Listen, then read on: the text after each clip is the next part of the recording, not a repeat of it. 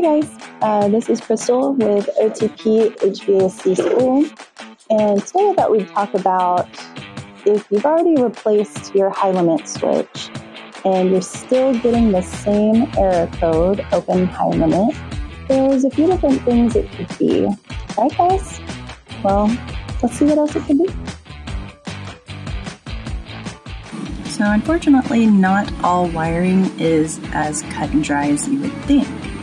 Uh, and then this, in this instance, you have to actually look at how this is labeled on your legend, which most of you should have.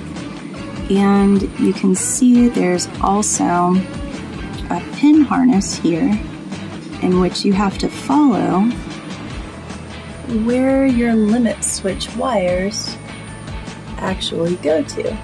And you're gonna have to follow them down all the way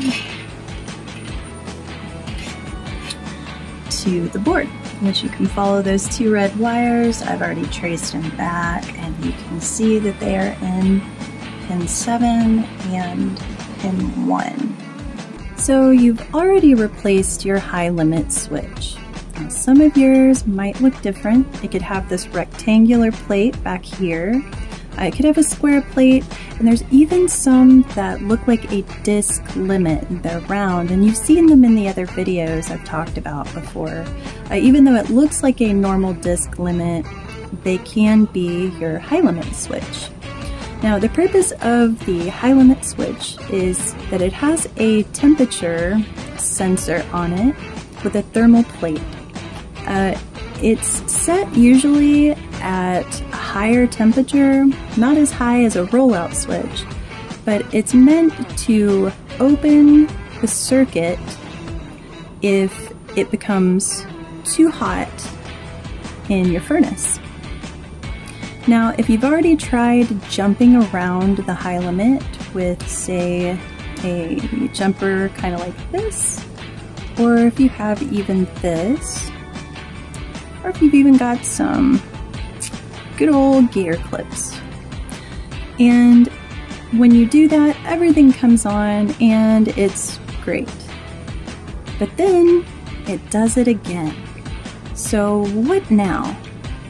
Well, if your furnace is telling you, and uh, by furnace I mean your control board is blinking the fault code again for high limit switch, it could be a number of things.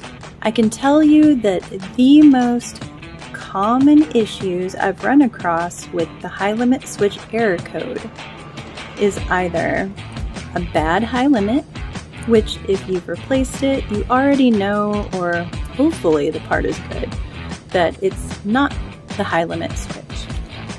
Uh, the other possibility is a bad control board. Uh, misdiagnosis of control boards happen quite often. Um, a lot of times I'll have people come in the store and they'll say, I think it's a bad control board. Uh, we hook it up, we test it, everything works just fine. We're not noticing any obvious marks of burn trails, um, obviously a blown relay, anything like that. Um, it is more than likely not always, because obviously this is a circuit board, we can't see what all is going on internally. But more often than not, when it's setting off that high limit error code, uh, it's either the high limit is actually bad, or it's going to be low airflow, in which case, again, this is doing its job. Um, normally, it's a good idea to reset the power uh, and go ahead and try to run it again and see if it's throwing the same error code even after all the parts have been replaced. Uh, your coils are clean, your filters are changed out. So if all of that happens and this guy's still giving you that code, it's more than likely going to be your control board. But I would do those less expensive options first before just jumping to the control board the number one issue I run across is the no good, very bad, filthy, dirty evaporator coils. If you're wondering right now in this moment what evaporator coils are, unless you have a brand new system, it is time to clean those, my friend.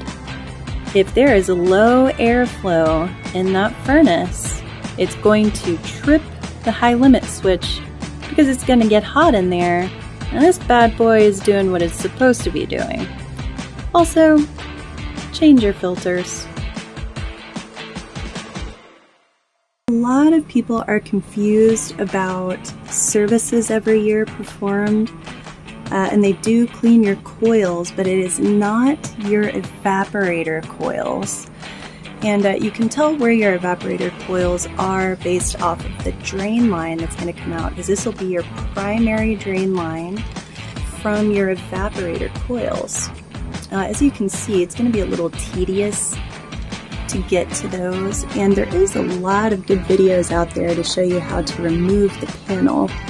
Uh, usually you're going to have to remove some screws, maybe some tape, but it is not part of your normal yearly services or your every six months services to actually clean, clean evaporator coils.